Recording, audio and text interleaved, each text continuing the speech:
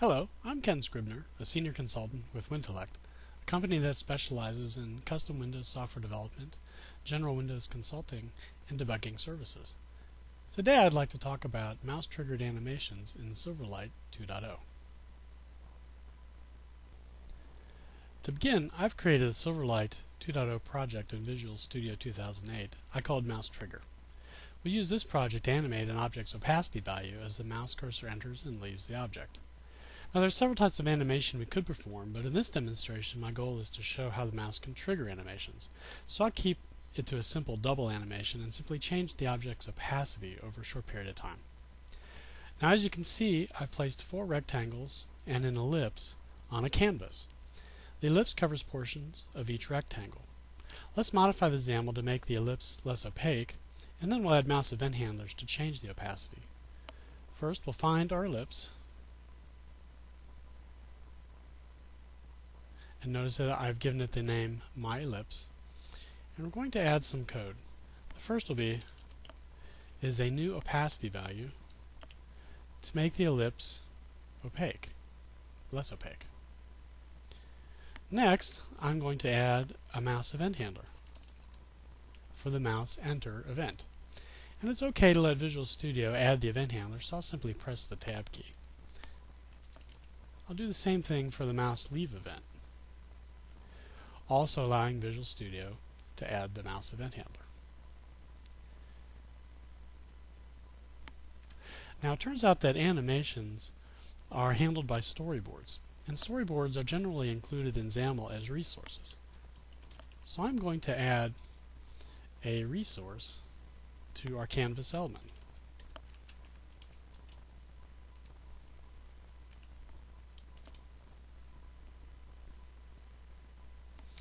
And the next thing I'll do is add a storyboard to our resources. And I'll give this a name because later I'm going to want to access this in code.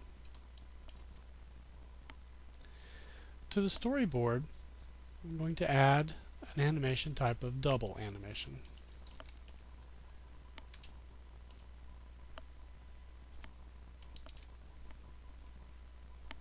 And to the double animation, I'm going to have to add some information. The first thing I'm going to add is the actual target name of the object we're going to want to animate, which in this case was my ellipse.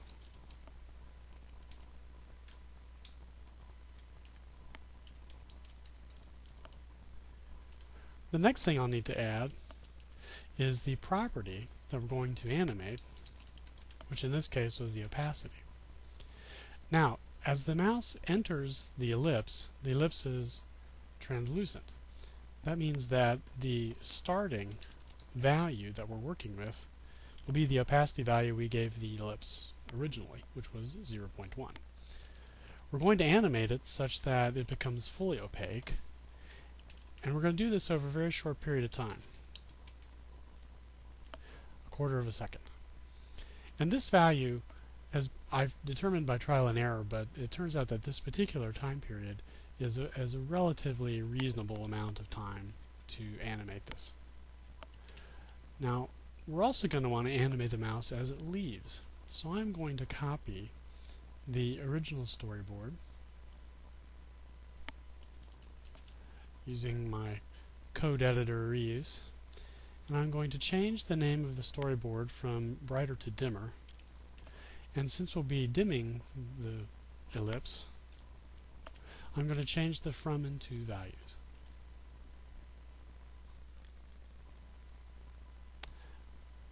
Now the, the storyboard, both storyboards, are resources of the canvas.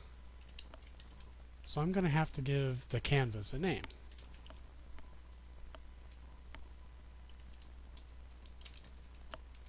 give the name of my canvas. Save everything. Now we'll add some code to actually animate the ellipse. To do that, we're going to open our page.xaml.cs file for editing. And notice that Visual Studio added event handlers for mouse enter and mouse leave. Let's work on the mouse enter first. The first thing we'll need to do is locate our canvas element.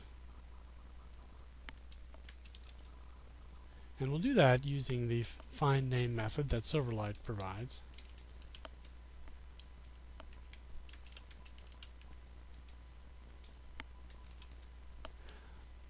Once we have our canvas element, we'll need to locate our storyboard.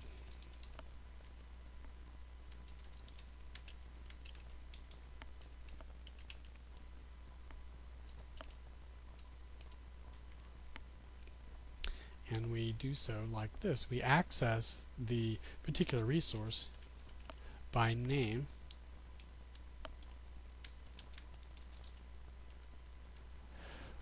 Once we have the storyboard, we simply call its begin method.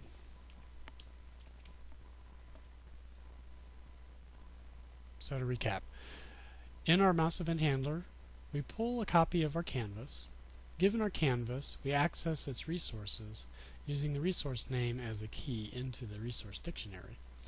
We have to cast the resource that comes back to us as the appropriate thing, which in this case is a storyboard.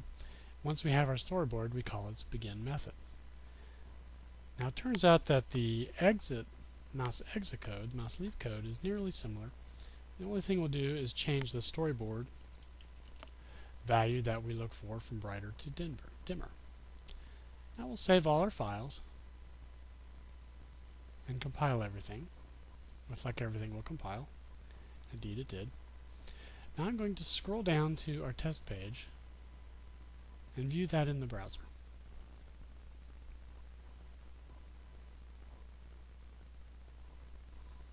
Now as I rotate the mouse cursor around the ellipse and finally enter the ellipse, you'll notice that when it enters the ellipse, the opacity changes to a full value of 1, and when it leaves the ellipse, it changes back to a translucent appearance.